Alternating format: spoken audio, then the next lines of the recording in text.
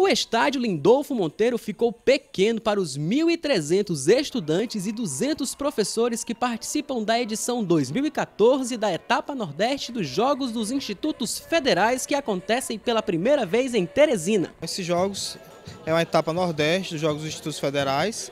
Daqui vai sair o representante do Nordeste para participar da etapa nacional, que vai acontecer agora em setembro, lá em em, no Rio Grande do Norte. Na abertura dos Jogos, homenagem ao anfitrião, Instituto Federal de Educação do Piauí e as 11 delegações participantes.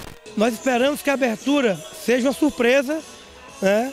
que as, a, os estados não, não esperam o que vai acontecer aqui. A gente espera que eles não tenham sabido antes.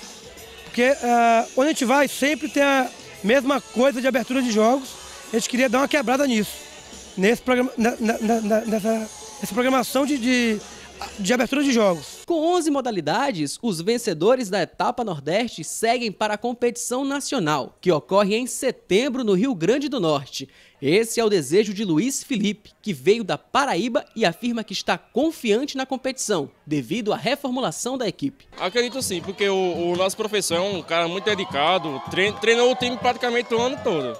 E a gente vai chegar bem e vai com certeza detonar nessa, nessa competição. Um dos destaques da delegação do Piauí, Gisele Pereira garante que a equipe de futsal vai buscar o título e destaca que jogar em casa e com apoio do público é fundamental. Lógico que a, a responsabilidade é maior, né? Que a gente tem a obrigação de ganhar dentro de casa, mas o apoio da torcida vale a pena.